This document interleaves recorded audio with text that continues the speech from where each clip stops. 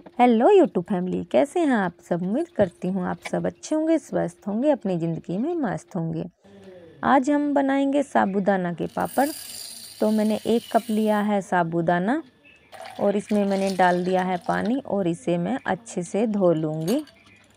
तो इसमें मैं अब डालूँगी दो कप पानी और दो घंटे के लिए रखूँगी इसे। तो हमारे दो घंटे हो चुके हैं। तो देखिए हमारा साबुदाना काफ़ी फूल चुका है। तो देखिए, इस तरीके से फूल चुका है हमारा साबुदाना। तो अब हम लेंगे एक बड़ा भगोना। तो जो ये साबुदाना है, हम इसको सारे को इसमें डाल देंगे। सारा और इसमें मैं डालूँगी पानी।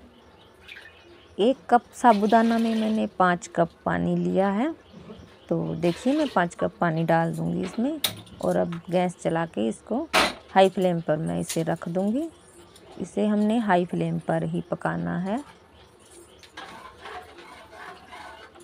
तो फ्रेंड्स, जब तक हमारा साबुदाना पक रहा है, आप मेरी वीडियो को लाइक, शेयर एंड सब्सक्राइब कीजिए और कमेंट ज़रूर कीजिए मेरी वीडियो आपको कैसी लगती है। तो मैं इसमें एक चम्मच डालूँगी नमक और एक चम्मच डालूँगी मैं इसमें जीरा। आप चाहें तो इसमें मिर्च भी डाल सकते हैं, पर मैंने मिर्च नहीं डाली। बच्चों को यही फ्लेवर पसंद है, जीरे का और नमक का। हाई फ्लेम पर हमने इसे चलाते रहना है, वरना हमारे साबुदाना इसके तलबे में लग जाएँगे। तो देखिए, हमारा साबुदाना पक चुका है।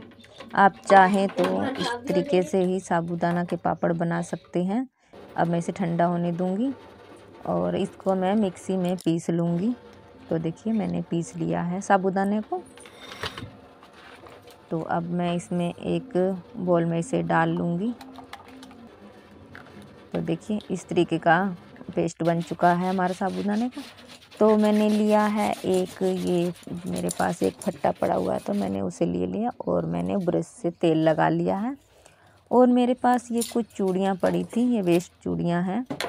तो मैं इन्हीं से सारे पापड़ को बनाऊँगी, क्योंकि इससे हमारी एक तो पापड़ की जो शेप है वो बहुत अच्छी आती है।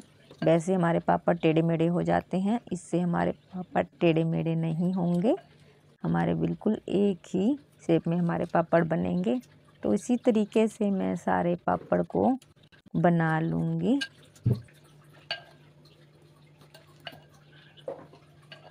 तो फ्रेंड्स, ये पापड़ मैं शाम के टाइम पर बना रही हूँ, क्योंकि आज मुझे दिन में कुछ काम था तो इसलिए मैं पापड़ दिन में नहीं बना पाई।